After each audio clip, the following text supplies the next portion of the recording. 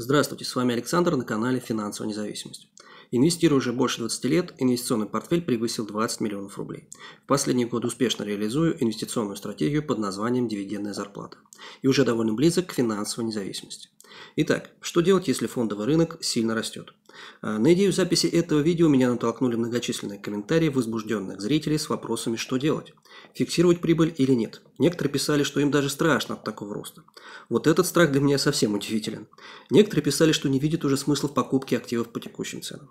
В общем, не переключайтесь и узнаете, как себя вести на лихом росте фондового рынка, нужно ли фиксировать прибыль при сильном росте активов, как покупать активы на сильном росте рынков, как всегда будет личный опыт и рекомендации. Поехали! Если посмотреть на график S&P 500, то сложно не заметить бурный рост после мартовской просадки. Почти вертикальное восстановление. V-образное, так, так оно называется. А ведь еще совсем недавно многие миллиардеры пророчили второе дно и очень тяжелый, долгий медвежий рынок и существенные экономические проблемы. Я делал несколько видео с подобными мнениями известных экспертов и легендарных инвесторов. Кстати, сразу скажу, вероятность возникновения второго дна на рынках еще полностью не снята. Но это сегодняшнее видео не об этом. Так вот, что делать, если рынок растет, обгоняя фундаментальные показатели? растет на оптимизме, смотря в будущее и не замечая текущих экономических показателей и проблем. Страшно ли это? Как поступать в таком случае? Первое, что нужно и можно делать, это расслабиться и получать удовольствие. Вот не хватает еще расшатывать себе нервы на росте рынков. Когда падало, многие боялись, теперь давайте еще на росте забоимся. Но это правда чудно. Вы уж простите, но с таким подходом точно не инвестируют. Я много раз говорил, что буду рад падению рынков, и сейчас текущий рост на эйфории меня как долгосрочного инвестора скорее расстраивает, чем радует, так как приходится покупать активы дороже. Но это так о себе. Теперь конкретика. Что делать? Прежде всего, нужно быть готовым и к дальнейшему росту, и к смене настроений на рынках, то есть коррекции. Да, рост может продолжиться. Прежде всего потому, что денег в финансовой системе просто куча. На негативных коронавирусных событиях финансовые власти большинства крупных стран, и в особенности США, залили в экономику беспрецедентное количество денег, которое теперь уже на глобальном восстановлении выплескивается на фондовые рынки вот, на оптимизме. Возникает эйфория, которую власти продолжают поддерживать еще и своим оптимизмом дополнительно. Покупки на рынках могут вполне даже и усиливаться в данных условиях. Это надо учитывать. Как быть готовым к дальнейшему росту? Прежде всего психологически. Не дергаться, не суетиться. Есть смысл продолжать покупки. Конечно же, не агрессивно, а спокойно, планомерно. А, не на все деньги, а частично и регулярно. Упаси вас, Боже, от торговли с плечом или чего-то в этом роде. А, личный опыт. Мне сейчас трудно покупать именно психологически. Я понимаю, что отрыв а, рынка от фундаментала очень большой. Но также и понимаю, что рынок может еще довольно долго расти на избыточной ликвидности и оптимизме от победы над вирусом. Поэтому, взяв небольшую паузу на адаптацию, я продолжу регулярные покупки. Далее. Надо понимать, что после такого бурного роста вполне может развиться коррекция на каком-нибудь инфоповоде. Ну или даже просто так. И это тоже может быть резкое и даже глубокое движение.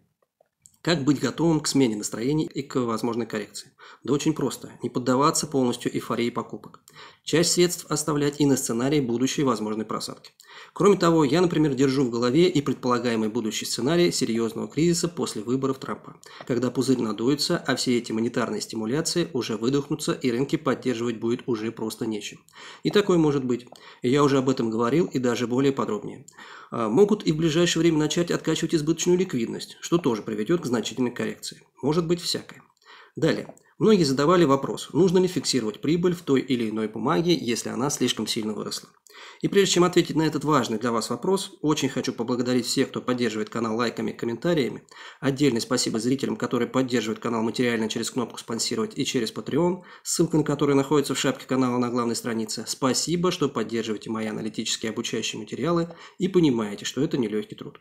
Так вот, стоит ли фиксировать высокую прибыль?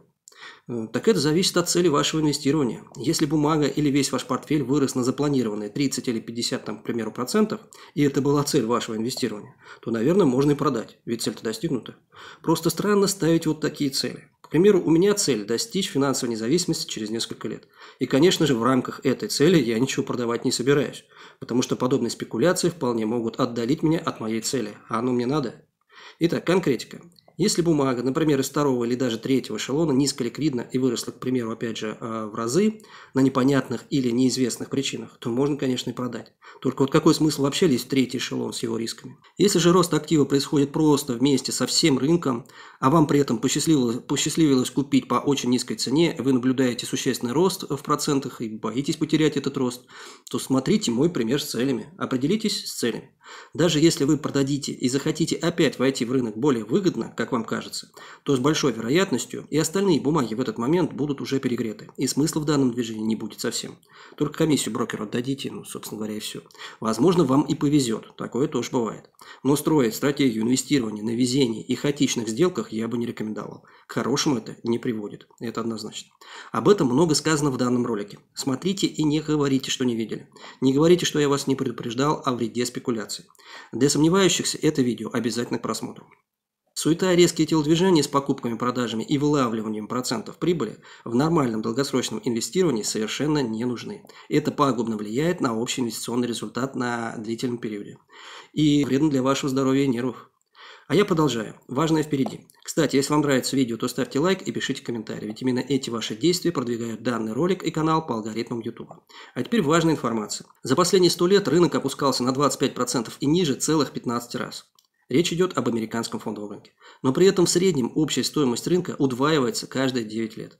Да, рынок иногда корректируется, но гораздо чаще растет и периоды роста гораздо длительнее. Так зачем суетиться, выскакивать из рынка в преддверии возможной коррекции? Коррекция ведь может и не случиться, а что вот точно случится, так это рост рынка на длительном периоде времени. А если вы не готовы к периодическим коррекциям, ну, вам не следует владеть акциями. Лучше поберегите нервы. Здоровье важнее любых инвестиций, и это однозначно. Ну а на сегодня это все. Пожелаю вам удачных инвестиций и на фазе роста рынков. Всем здоровья, большого профита и да пребудет с вами сила сложного процента.